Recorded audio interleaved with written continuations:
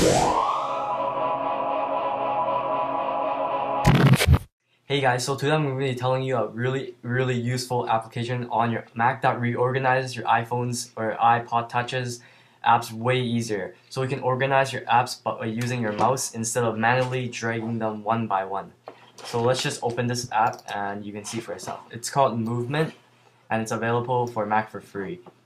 So once you open it, it will tell you some instructions on how to do it. So just skip that for now and we're going to press on Read Apps. So when you click read apps, make sure you are connected by USB and that your iPhone or iPod Touch is jailbroken.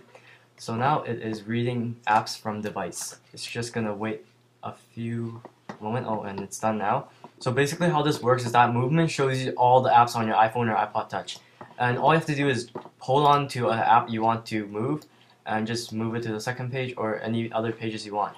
You can also highlight the whole thing, the thing you want to highlight and then drag it to a page you want, like so. Once you're done organizing your apps, you can then press on Write Apps. So let's click on that, and it'll ask you, do you want to back up your springboard? I'm just going to say no since I'm demoing it right now.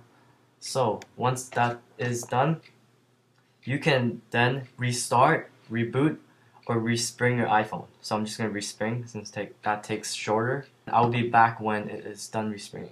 So this is really useful when your iPhone for some reason crashes or your springboard crashes and all your apps reorganize itself. Or you just want a easier way to reorganize your icons. Okay, so I just enabled my screen recording again. So there you go. All the apps on Movement is now just like the one on my iPhone right here. So looks like it's correct. Cydia is in the first order uh, and everything is good. So if you want to get this app, Right now, it is only for Mac only, and Windows users will have to wait a bit. iTunes 9.0 was rumored to have this feature inside the app itself. So maybe Apple will release it in the next future iTunes update, or maybe it'll be delayed or whatever happens then. So for jailbroken users, you're lucky you can get this app right now for free if you have a Mac. So if you have a Mac, a jailbroken iPod Touch or iPhone, then go get this app right now for free while it is still free. If you have any questions or problems, feel free to comment below or visit the developers forum in the video description. If you want to follow me on Twitter, go to www.twitter.com slash iPhoneArena.